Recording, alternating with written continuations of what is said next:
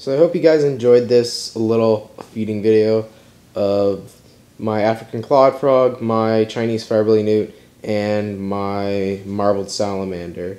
Uh, just a couple little things I just threw together, and I hope you guys like it. Thanks for watching, guys.